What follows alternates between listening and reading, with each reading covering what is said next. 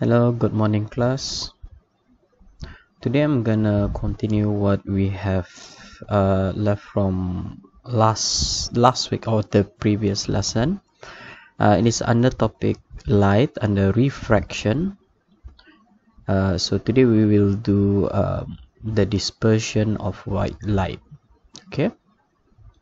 So before we continue, before we start, um, can you please watch other videos that I took from YouTube. And please watch that video first before you uh, continue with my lesson. Okay? So so here is a dispersion of white light. White light is made up of seven colors. So the white light have seven colors. And as you know uh, the Roy G Biv the red orange yellow, green, blue, indigo, and violet. And you learn this one from the color of the rainbows, correct? So, so what happened? This rainbow forms the seven color is due to the splitting of the white light into these colors is known as the dispersion of white light. Dispersion of white light the causes of dispersion is um, the different color travels at different speed in glass okay? If you watch the video from youtube you will notice that this one animation showing that the wave of the white light as it enters the glass the wave slows down okay and then why it's uh, dispersed into seven color? Uh, it's because of the red. Start from the red color. It deviate it deviates the least deviate ini maksudnya ia refract refract ataupun bend the least makin paling sedikit red. So we have the red color here on the top and then the violet deviates the most. So here violet di bawah ni. So in between here in between will be all the five colors okay? So in vacuum all colors travel uh, sorry all colors travel in the same speed which is 3 times 10 to the power of 8 all right so each color of lights gets refracted by a different angle as it passes between air and glass so those are the two reasons why uh, the white light can disperse when it enters the glass. All right next one. Um total oh yeah i need to emphasize this part huh? it come it does come out in exam especially um drawing the diagram. Okay? Please remember the dispersion of light starts from here. Please take note it starts from here it start to spread out. And then from here the light itself is already bent ataupun refracted. Okay? And then the bottom one will be the refracted moss. So please remember it starts from here. Okay. All right let's move on. Next one is the total internal reflection and critical angle one of the very important uh, part in the refraction. Very very important part. So when the light passes from denser medium to a less dense medium uh, let me enlarge this part okay? When a light passes from denser medium now where is the denser medium? This is denser medium. This is denser medium or I will label over here let's say this one denser medium which is glass normally glass. Water boleh juga. To a less dense medium less dense medium this is air normally air. So technically the light travel from glass to air okay? The emergent ray is refracted away from the normal okay? So class can you please make a correction? There is a correction here. This angle is wrong. It should be labeled over here. Okay it should be labeled over there. So what they mean here is when the light here and leaves the glass it will refracted away from the glass. Okay? away from normal. Alright now please take note. This is very important. How about this part this ray of light? As it enters from air to glass. Kenapa di sini no refraction? Why there is no refraction here? Why there is no refraction okay. Now if you look through back to my notes on refraction if the ray of light enter the glass with an angle of 90 degree there will be no refraction at all. Di sini 90 degree. No refraction. So that's why you go straight saja.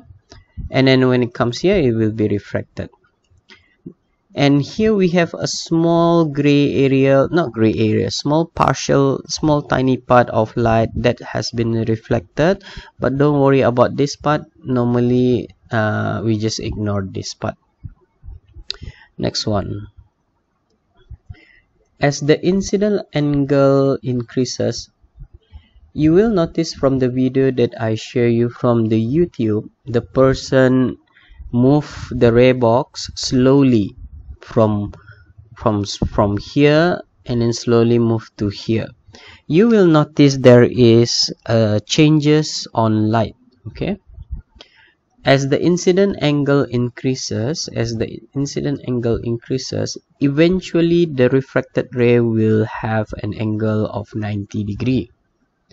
This special angle is known as critical angle.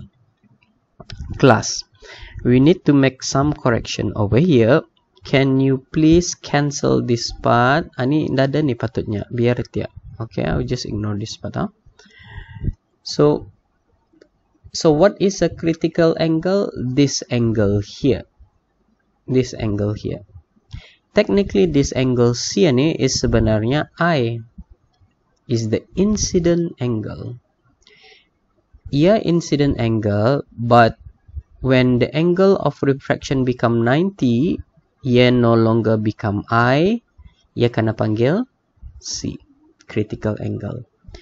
Only this special conditions when it reach 90 degree then incident angle becoming a special angle known as critical angle. Please take note the whole part here the whole part here is very important because definition will come out in exam. All right next one. The formula. Refractive index that so far we have learned so far lah, huh, that we have learned we have n is equal to sine i over sine r. And then we have n equal to apparent depth sorry. Real depth over uh, apparent depth. And then we have another one the speed.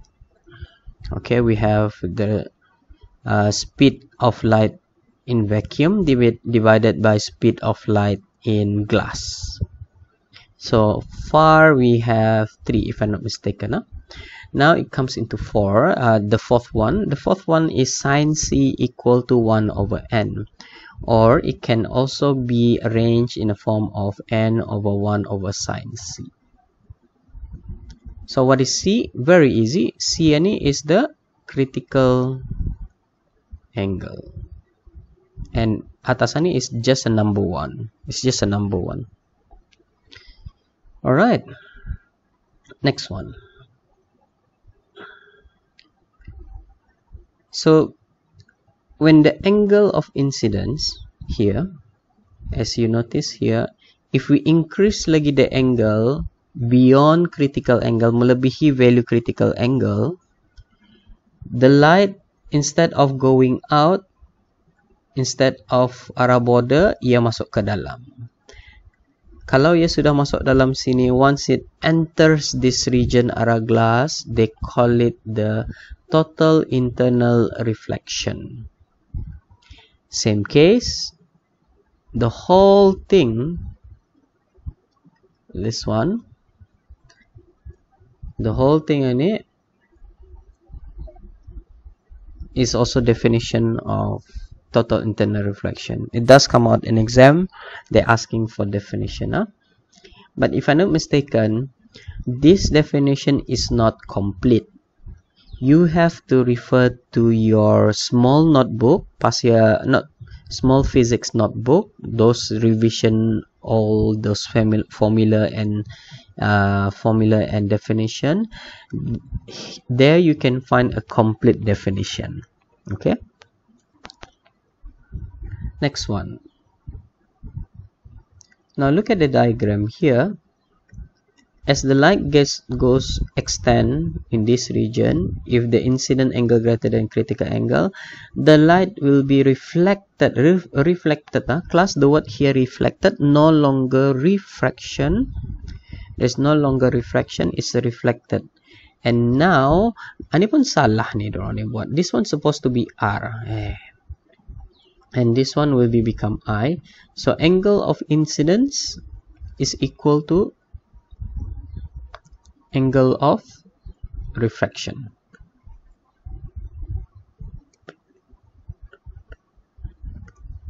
Apa ya okay I don't know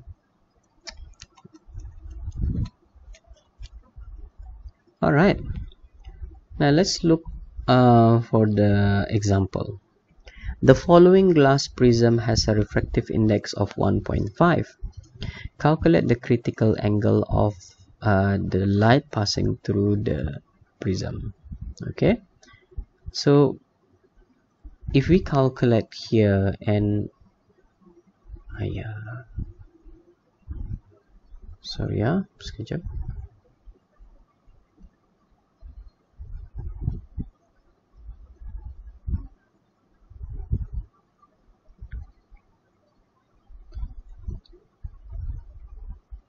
Alright, class. Um,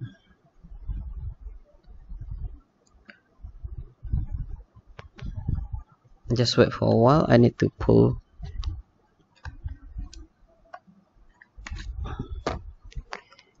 Okay. Now n is equal to 1 over sine c. And then if you substitute 1.5 equal to 1 over sine c. Let's do this okay one more time. N is equal to 1 over sine c. And then n is 1.5 divided by 1 over sine c. And c is equal to 1 divided by shift uh, 1.5 sine c yeah. and then c is equal to find out how much is the angle over here okay? Find out how much the angle over there then after that you have to draw your diagram over here.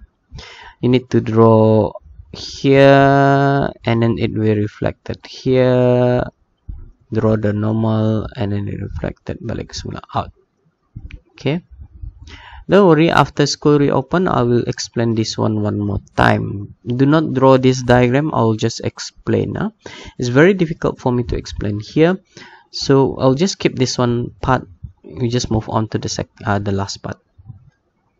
Next one is the uses of total internal reflection. So the uses of total internal reflection is one of them is what we call the optical instrument okay? This is what we call the periscope. So they put here a right angle glass prism and then they also put here a glass prism over here all right now when they put it over here so the light will go and then reflected and you see the image from here. Okay? Same case here with binoculars. They do have this small prism and then it will be reflected. Okay? It goes to the eyes. Sorry. So those two are the what we call that the application one of the optical instrument used as for total internal reflection. Now here we have a question. Why do you think prism are used instead of mirrors? Manarito ah. if you look over here the periscope macam if you have a project lah you if you want to make a, a periscope you can use mirror saja wah instead of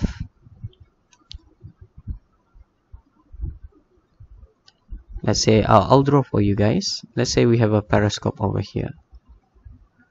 And then we want to see uh, something object atas sini instead of putting prism here masukkan glass saja. So if we have a glass over here and then we put glass over here we can also see the object for example like flowers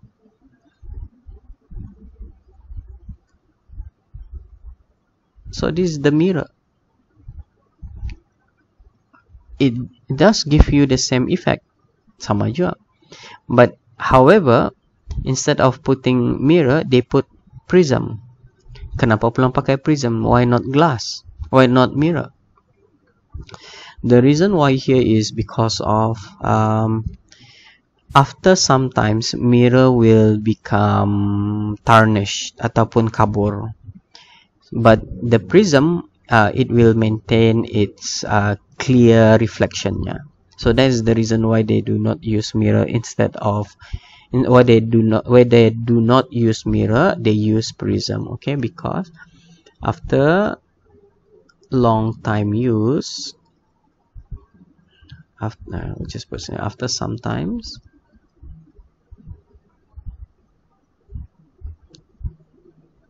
mirror will become blur. Okay blur. So next one is um, can you please cancel this one light pipes? They don't call it light pipes we call it the fiber optics. Fiber optics when we have a fiber optics um, light light enters at one end and repeatedly reflects from one from the walls of the fiber, fiber optics huh? fiber optics until it emerges from the other end what are the light pipes used for um, here we just put this in it telecommunication huh? okay so you will if you notice recently i think last year um, telbro uh, your internet speed di rumah makin laju. You can boost up to 20 megabyte at 20 mbps even 40 even 100 uh, it is only applicable if your house can install fiber optics.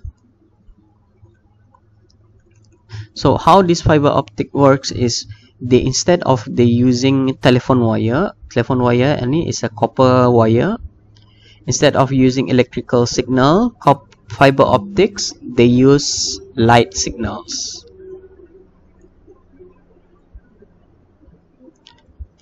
Which will be very very fast because as you know light punya speed is 3 times 10 to the power of 8 meter per second so signal can be sent very very fast and then it will, um it's what we call efficiency-nya lagi tinggi. That's why fiber optics is nowadays is more um, is commonly used in telecommunication because they can go up to very very high speed. Okay um well I think that's all for today. Uh, not much. We only use uh, we only cover for two pages saja uh, but I do share you guys with the other YouTube videos. Please watch that videos. Um, I will send you another second assessment on the refraction uh, maybe on Saturday. I think that's all for today. Thank you class